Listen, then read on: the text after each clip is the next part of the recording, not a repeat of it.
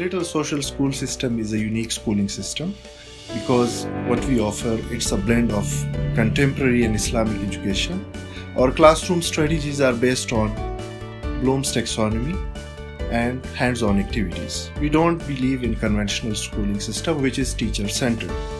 We are providing Nazira, Hifz and translation which is offered both in English and in Urdu.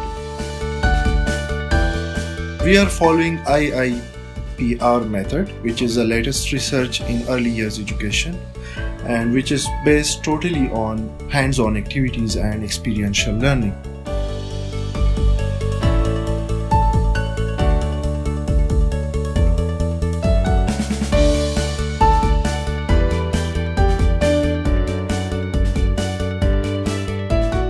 And their teacher is merely a facilitator and we believe, we firmly believe that our kids need total uh, attention in terms of what they take interest in.